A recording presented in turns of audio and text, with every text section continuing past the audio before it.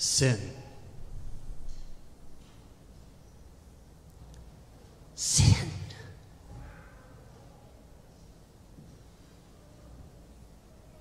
Sin.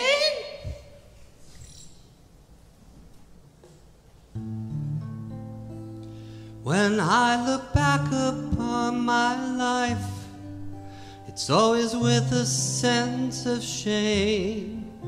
I've always been the one to blame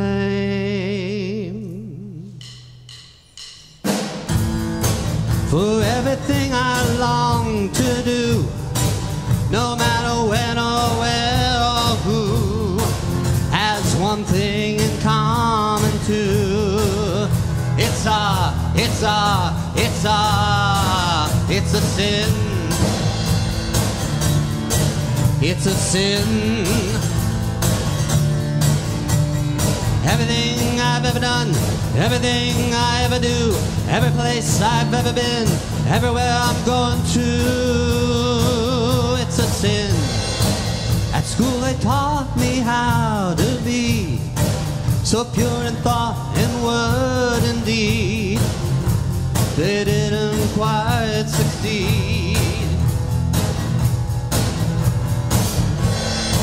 For everything I long to do, no matter when or where or who, has one thing in common too. It's a, it's a, it's a, it's a sin. It's a sin. Everything I've ever done, everything I ever do, every place I've ever been, everywhere I'm going to, everything I've ever done, everything I ever do, every place I've ever been, everywhere I'm going to, it's a sin.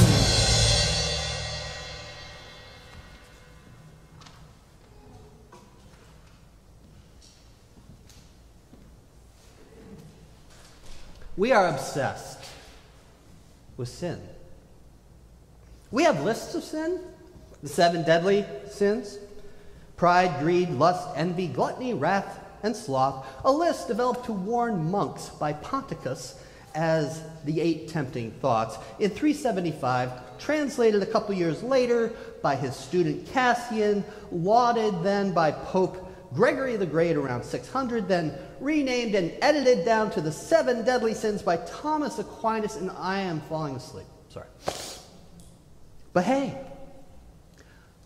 aside from lists, we've created something else. It's called original sin. You know, because Adam and Eve bit the apple, which was never actually called an apple, but don't get me started. But hey, it's original, okay? Like KFC original recipe. It's the first one, the one everything builds off of. Even though if your dad is a murderer, you aren't born a murderer, right? Even though original sin comes from a Jewish story and Judaism does not believe in original sin, even though the Orthodox Church says, Where did you get that idea? Well, not from Jesus. We actually got it from Augustine, though some argue about that. Augustine, who said Eve ate the apple and now we've all got the disease. Really? Well, regardless, we are obsessed with sin. And yeah, we do it. We sin all the time. When Luther translated the scriptures, and the Anabaptist churches, you know, the ones all around us that practice adult baptism, started popping up saying, You need to make a decision for Jesus or your baptism isn't any good. You know what Luther said? It was actually pretty wise. Most of what Luther said about Anabaptists needs to be buried in a hole somewhere, but this was pretty wise. And he said, Sin influences every human decision. Okay, young one, why do you want to be baptized? You accepted Jesus. That is great. But are there other reasons? Oh, sure, which Jesus is 90% of it, but could it also be you want to be part of the real friend group, the club here at Youth Group? You heard there's a party after you get baptized? Maybe presents? You're afraid you'll go to hell if you don't? Maybe it's that cute girl in Bible class. Or maybe you just want people to stop asking, hey, when's it going to happen? Or maybe you want your parents or you to be proud. Pride. That sounds deadly. All those reasons, sin.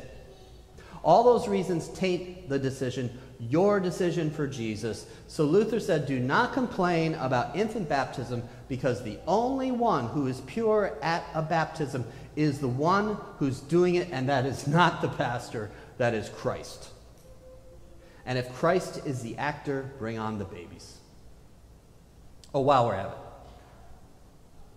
why did I want to be a pastor? Hmm. You get that, asked that question a lot in the process, the journey to become a pastor.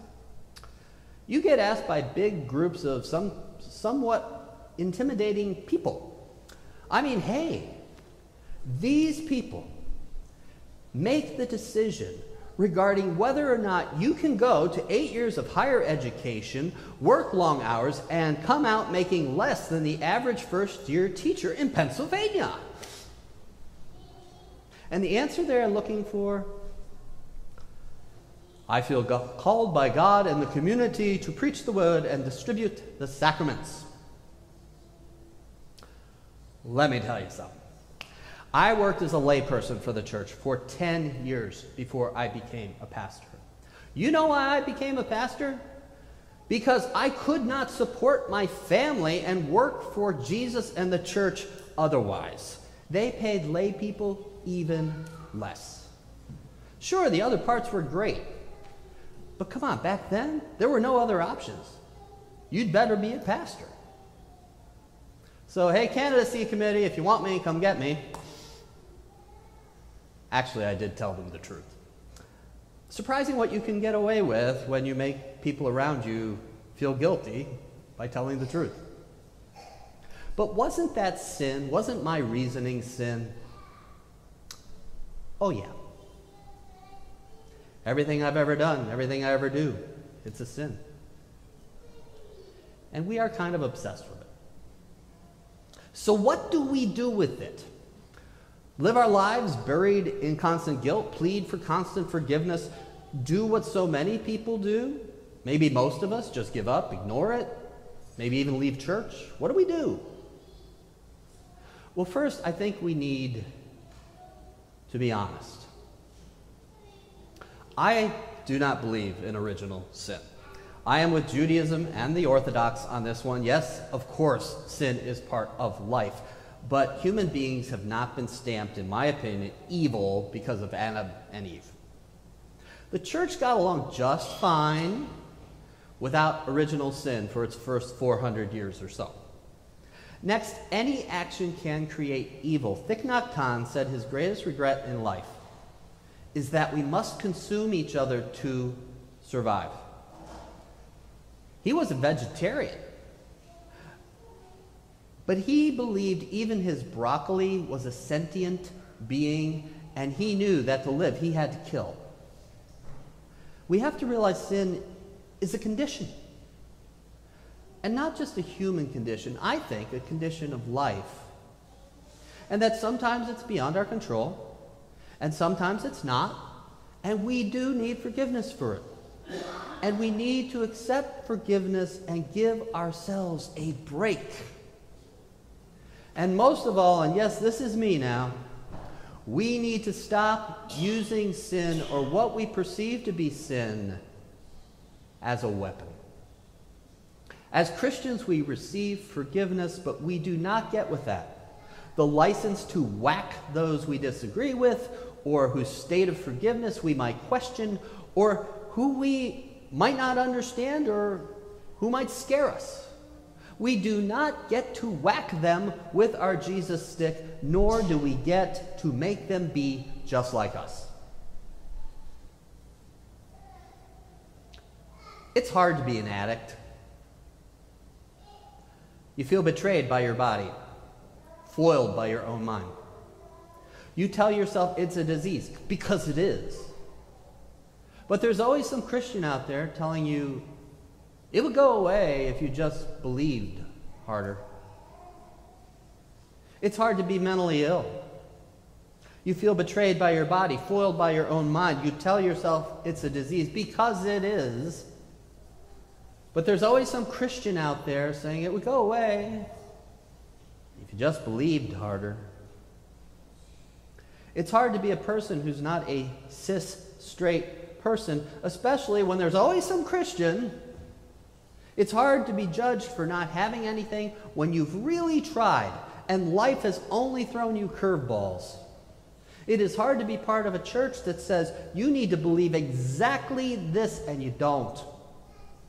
These things, these thoughts, these conditions, and so many more, even as some of them are just how a person is born, even as much of it comes from factors beyond our control, are a call to some Christians to bring out the Jesus stick and the whacking begins, even as the whackers cry, This is because we love you and want you to be better.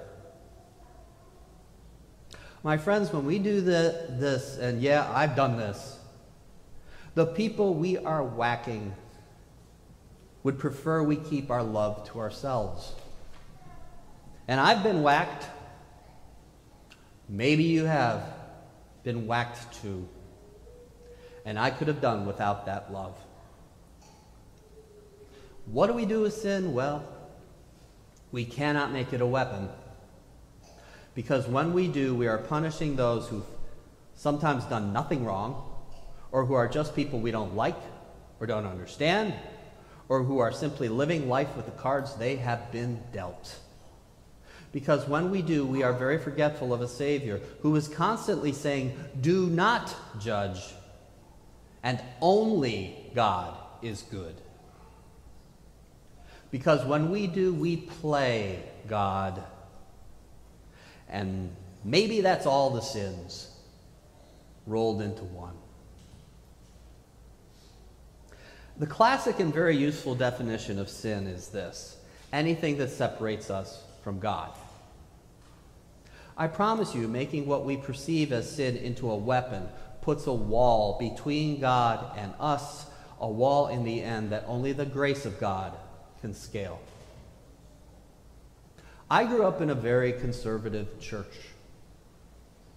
Sin was used as a weapon on me. The Pet Shop Boys wrote It's a Sin quickly and out of frustration with Catholic school. They meant it as a joke. And if you grew up like we did, you can't help but smile when you hear it. But something deeper is here anger, frustration, an attempt to hit back at those who said they would never be good enough, instead of just telling them, God loves you. Sin is here, it's not going anywhere. But, children of God, we are children of God. And God's love will always win. And that love is also in us. God is love, and we carry that light and love in us. We are born with that, not with apple skin in our teeth. Metaphorical apple, metaphorical teeth, of course. Put down the Jesus stick. Don't use it on others. Don't use it on you. If you want to love the sinner, start at home with yourself and then just love. Do that and you will lose any worry about your own sin. The stick will vanish and Jesus will be there.